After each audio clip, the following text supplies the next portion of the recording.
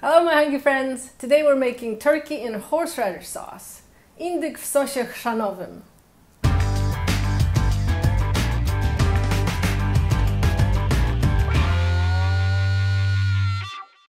Welcome back friends, this is Polish Kitchen and my name is Anna. Today we're explore exploring uh, the realm of Polish dinners and we're making turkey in horseradish sauce. Uh, this uh, doesn't have to be turkey. I'm making turkey because that's what I bought, but you can do uh, veal or you can do uh, pork chops or you can do um, uh, chicken breasts whatever what, whatever kind of meat you want. Just kind of you want it to be in kind of in pieces like this or in steaks. So I'm posting a recipe, I'm posting a link to this recipe in the video description. So go ahead and take a look, give me a like and subscribe to my channel. So we are gonna start with heating our pan and getting these guys a little color. So I have this heating and I'm putting a little bit of oil in my pan. And this is pretty hot already, so I'm just gonna pop these in. And the idea is to just give them a little color. You don't have to cook them through. They don't need to be uh, cooked because they're gonna be sitting in our beautiful sauce in our horseradish sauce for a little while. And that's when they're gonna get cooked through and nice and soft and moist on the inside. Give these a few minutes until they are nice and brown on, on each side. And then we're gonna remove them. And I'm not even gonna worry about getting a new plate. I'm just gonna put them on the same one because they're going to get cooking some more. So if we're worried about any contamination, they'll get cooked off. And into the same pot, I'm going to add a little bit more oil. You can do whatever your favorite uh, sauteing fat is. And I'm adding one diced onion, one little larger onion. This is, I think, a cup container. So about a cup of chopped, not chopped, diced onion and this onion is gonna brown a little bit in here. It's gonna pick up the uh, beautiful bits, bits and bobs from the bottom of my pan, and it's gonna add flavor to our sauce.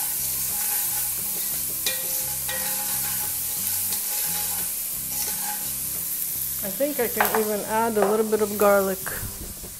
I just roughly chopped my, or sliced, I guess, my garlic. And I'm just gonna add that in there and give it a stir. And look, the onion is already turning nice and brown. And I can smell the garlic. And it's smelling gorgeous. And to this, since we're stewing stuff, we're gonna add Paul's favorite, stew or soup trio, which is a couple of bay leaves, and you can say it with me. uh, some uh, whole peppercorns. Peppercorns. And a few um, uh, allspice berries. I'm gonna do five or six today. And you can get those at most grocery stores in America. They're just a little bit uh, brown berries. And if we've seen any of my videos before, you'll know that these go in in most soups and stews that we cook here in Poland, unless it's like a fruit soup. Yes, we have soup that's fruit soup. All right, that's pretty close. I just want a little uh, caramelization on the onion and uh, it's got nice brown edges and that looks good to me. I'm going to return the meat into the pot. And then I'm going to add four cups of water. And you have you, as you may have noticed, I did put a little bit of salt and pepper on my turkey before I sauteed it. because I mean it does need some some flavor added to it and you can't just put meat without any spices in our sauce so go ahead and put some some of that on your meat too and this will now stew for at least 30 minutes. With my turkey this may be 30 minutes but if you're cooking uh, depending on what kind of cut of pork uh, just kind of monitor your meat and you want it to be nice and tender almost to the point uh, like you're having pulled pulled pork or pulled chicken that kind of tenderness. Uh, so I'm gonna cover this and I'm gonna let this go on low for until it's soft so we'll see you in a bit our stew our, our meat is stewing in the back here. I've, I've had it on low for a while. My meat is nice and tender and we are ready to get to the last step. I have about three uh, tablespoons of butter melted in here and to it I'm adding three tablespoons of uh, all-purpose flour. And all we're doing here is making a roux that will thicken our sauce. So this is heated through. I'm going to turn this off now because the longer you heat this or cook it, the darker the roux is going to be. And I don't want it too dark. And at this time, I'm going to move my pot off my very professional stove onto my board.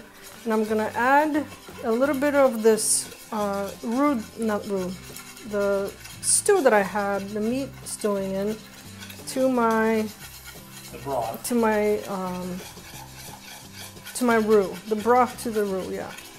And we want to do this slowly so it's not clumpy. And we want this to kind of pick up the moisture from the the sauce and eventually thicken our roux completely. But if I was to throw this all in the pot, I'm afraid it would clump. And I have onions in here, obviously, so it kind of looks a little thick. I think I'm going to get a little bit more roux. Oh, a little more broth. Gee, my, my terminology is being all compromised. I'm thinking and doing. Apparently, you're not supposed to do that all at once. So I'm just going to keep adding and stirring. It's one of those flavor nuggets I saw go Yep, flavor nuggets go in, everything. There we go. It's getting there now. This can be tricky sometimes, so just be patient with it and just keep adding little by little. And I'm gonna move my pot over here now. I made a little bit of a mess. I'm gonna move my pot over here and keep thickening it. This is hot, this is hot. And ideally, I would take this meat out, but I think I'll just move it to the side a little bit. And I'm gonna add, I'm gonna move this out of the way. Can you see I'm having a good day? and this thickener is going in. Come on, we gotta show this. Is gonna go in here.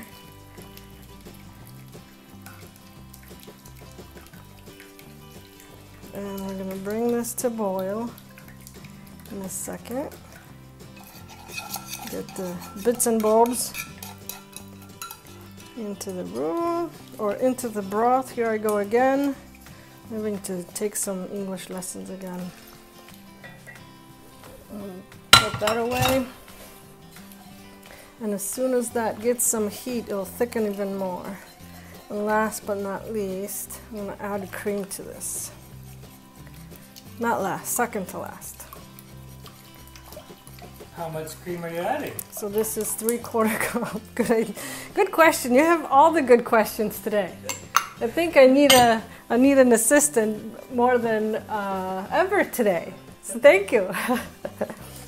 uh, three quarter cup of heavy cream, or if you have half and half would work too. It just kind of depend uh, depending on fat content of the liquid.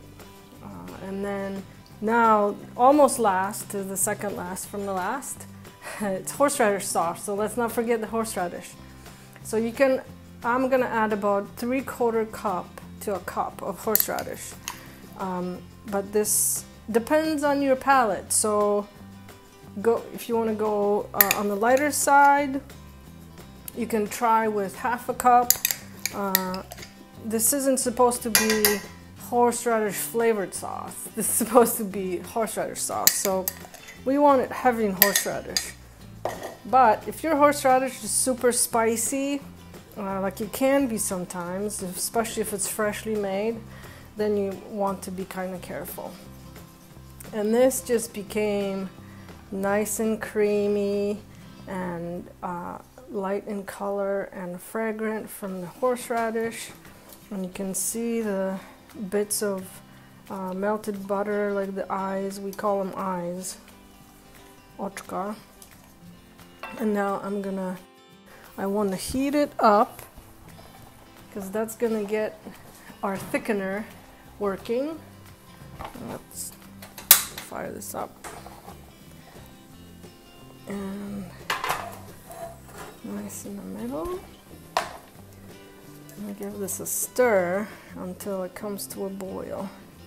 But we don't need to be boiling this anymore. Um, we just need to bring it up to a boil and then it's pretty much done. Uh, I'm gonna taste it, make sure it doesn't need salt or anything, but before that I'm gonna add a squirt of lemon, probably about a teaspoon. Catch the uh, pits. Give this a stir for a little bit of uh, added flavor, and I'm gonna add about a teaspoon of sugar. I want to make sure this doesn't need salt let this dissolve a little bit. And this sauce, I like a lot of sauce in my, in my saucy meats. So when I pour it over potatoes or over uh, some kind of grain, it's just Saucy. it's saucy and especially with potatoes. I'm a, I don't know about you, but I'm a potato girl too, and get nice mashed potatoes and put this over this creamy sauce over potatoes. Um, you get it. Um, you have a question? What's your question? Uh, uh, oh, yes. I have a question. Can you make this in a crock pot? Yes, you can make it in the crock pot, and I was actually a big fan of making this type of saucy dishes um, in a crock pot. And normally, what I do is I saute the meat or sprinkle you know the meat with some salt and pepper and just get a nice sear on it and then put it in a crock pot cover it with water add the trio to it the bay leaves and uh, allspice and pepper um, peppercorns. I apologize. And let it go for as long as you normally would four hours six hours eight hours if you're gone for work and then when you get home, just finish it with the, the roux and the horseradish. And dinner's done. Add some, add a grain, add a potato, whatever your, your preferences, and Bob's your uncle. All right, I'm just gonna give it a taste to see if it needs some uh, salt. Mm-hmm. I think it does need a little bit of salt. So taste taste as you go along too. And adjust as needed. If you like things this uh, not peppercorn um, this horseradish was not super spicy. So my sauce is uh, not spicy. So I'm gonna add a little bit more pepper. It's gonna add nice flavor to it. So this is done. It's thick it's bubbly creamy and all we gotta do is eat. Does this look delicious? Mm-hmm. get a plate. I made such a mess today. Clean your work area as you go, as my dad used to say in his workshop. Okay. So I have a nice creamy sauce. Check this out.